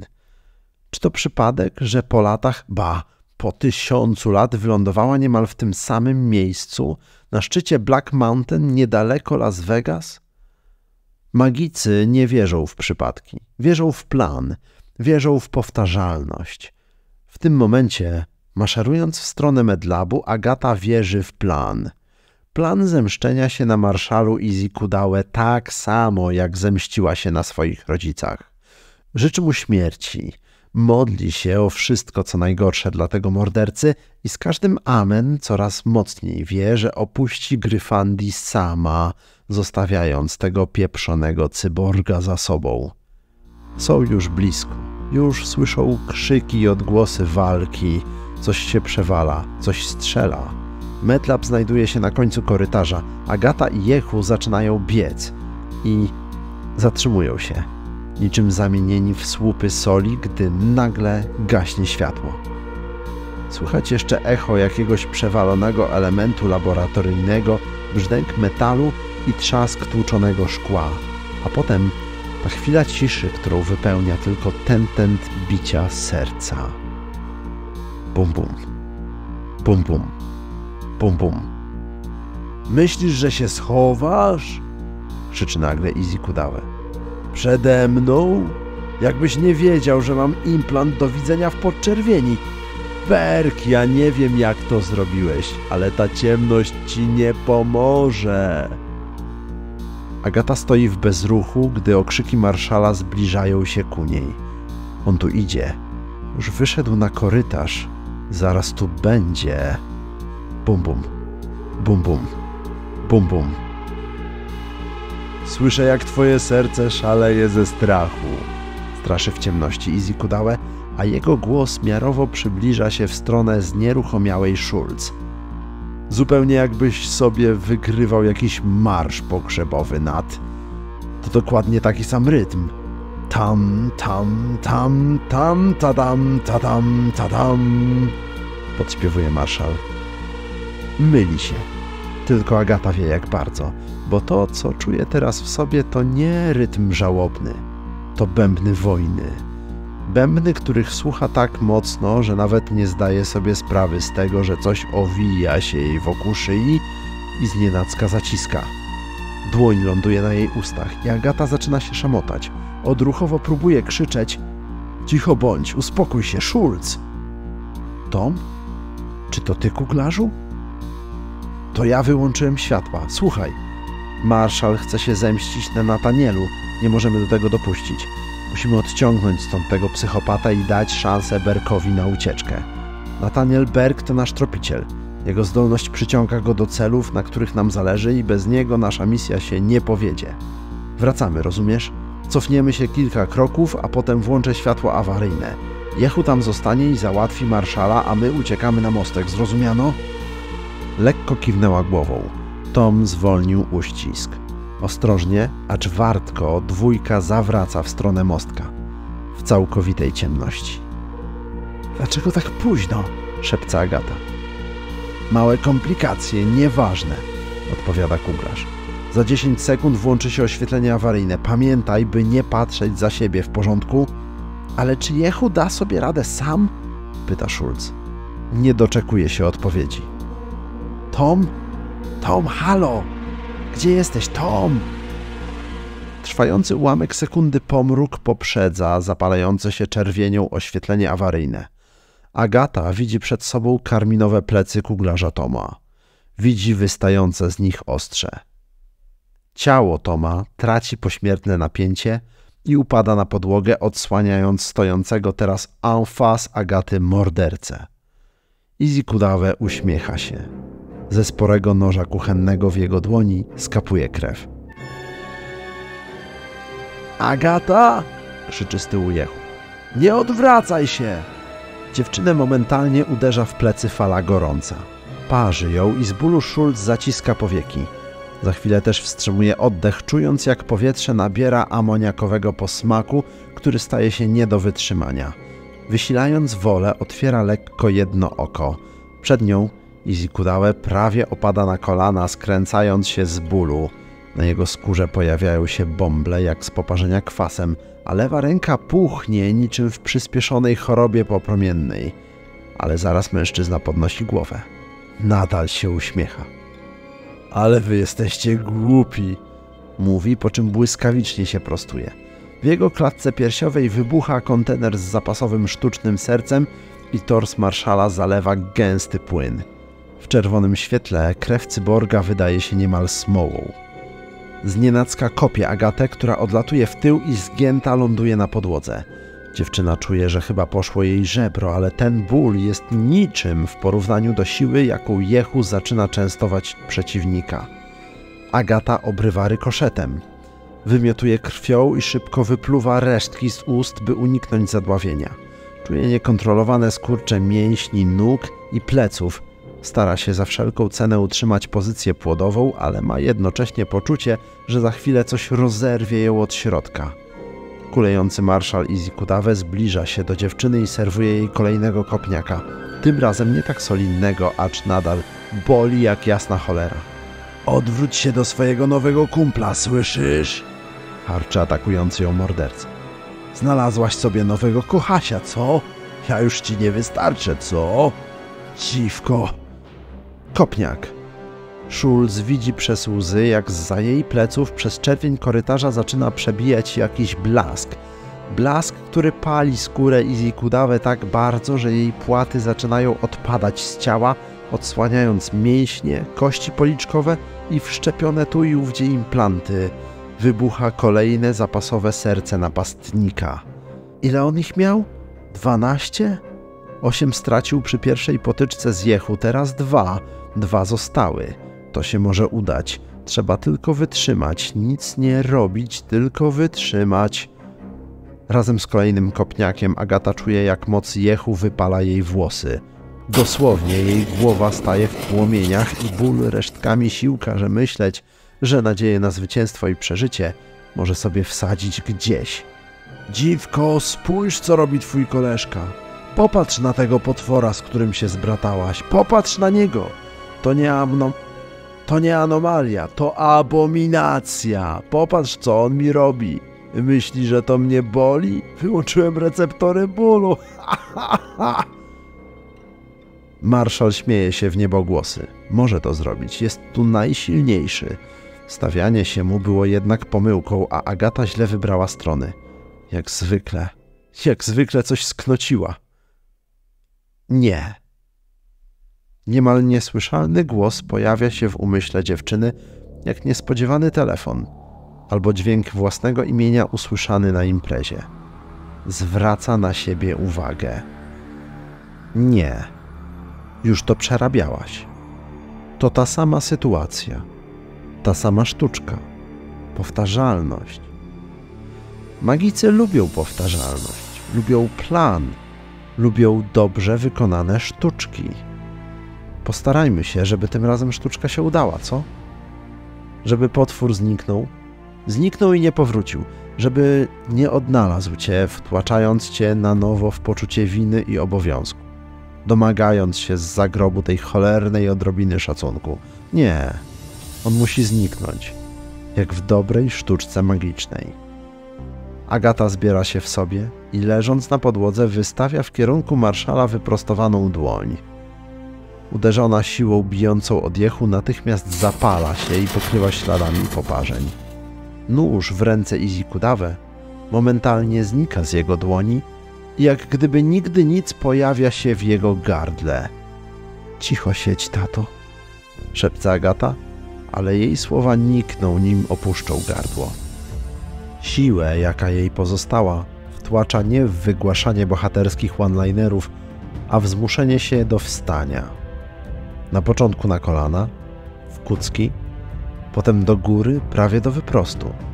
Przed marszalem Izzy Kudałe wyrasta płonąca demonica ognia. Spogląda na niego krwawiącymi oczami i nieznacznie porusza dłonią. Robi taki gest, jak gdyby wykonywała jakąś sztuczkę, jakby była na scenie i chciała odwrócić od czegoś uwagę. I nagle obie ręce marszala łamią się i wykrzywiają w niewyobrażalnych kierunkach.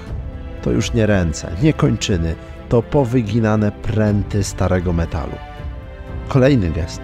Palce dziewczyny otwierają się i zamykają jeden po drugim, a nogi Izzy Kudałe obracają się o 180 stopni i kolana składają się do tyłu. Trzeci gest. Demon klaszcze w ręce, a marszal czuje, jak otwiera się jego metalowa czaszka. Poprzyczepiane do mózgu implanty wybuchają krótkim spięciem, raniąc odsłonięty mózg. Mężczyzna chce krzyczeć, ale nie może. Ma nóż w gardle. W końcu ognisty Ifryt pochyla się nieco do przodu, ni to z własnej woli, ni to przymuszony ostateczną utratą sił. Lekko dmucha w stronę marszala. Na jego klatce piersiowej wybuchają dwa ostatnie serca. Agata traci przytomność. Gdy ją odzyskuje, pierwsze co do niej dociera to strzępki rozmowy. Rozpoznaje jeden głos, drugiego nie. Jak mogłeś do tego doprowadzić? mówi zdenerwowany Loki. Przecież mówiłem ci, że to kluczowa postać dla naszego planu. Jak teraz chcesz wypełnić misję, co? Ona ci to załatwi? Ona uratowała nam wszystkim tyłki, Lukas, odpowiada nieznany głos. Twój plan z flasherem Foreya i wyleczeniem Izzy Kudawe nie zadziałał. Wariat prawie nas pozabijał. Gdyby nie ona, nie byłoby nas tutaj, a tak mamy chociaż cień szansy na sukces. Nie, nie zgadza się Lukas. Nie mamy żadnego cienia. Może gdyby Brawls był dostępny, to coś jeszcze by wymyślił, ale bez niego? Jak to bez niego? Co się stało z Brawlsem? Nie ma go nad, nie ma go, rozumiesz?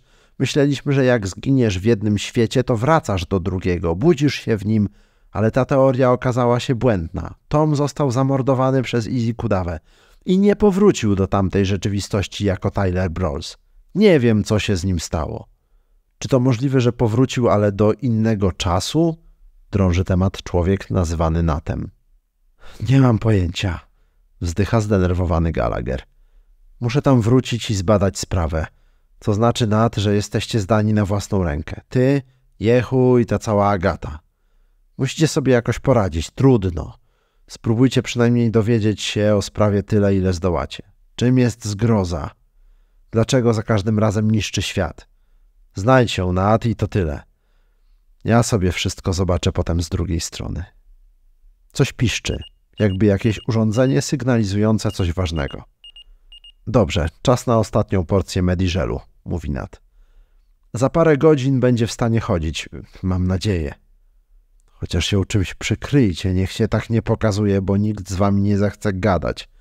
Zwraca uwagę Loki. Dobra, Nat, wiesz co robić.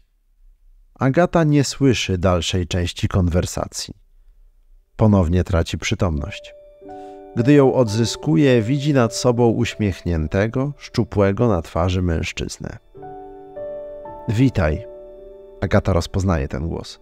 To on wcześniej rozmawiał z Lukasem. Spokojnie, wszystko jest dobrze. Nazywam się Nathaniel Berg. Razem z Jehu opiekowaliśmy się tobą. Dziękuję ci za uratowanie mi życia. Gdzie? Ciężko zaczyna dziewczyna. Gdzie my? Czy my jesteśmy na zewnątrz? Tak, zapadła noc i postanowiliśmy nie czekać na tym przeklętym statku, tylko od razu wyruszyć. Jesteś teraz na łaziku, którym się poruszamy. Widzę gwiazdy? Co? A, tak, no tak. Gwiazdy nad Vegas. To musi być niecodzienny widok.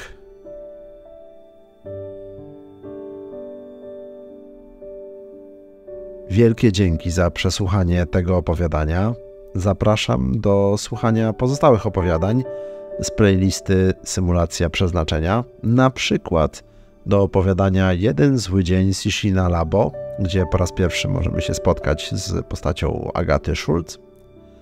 A jeżeli to i inne opowiadania się Wam podobały, to zachęcam też do wsparcia kanału.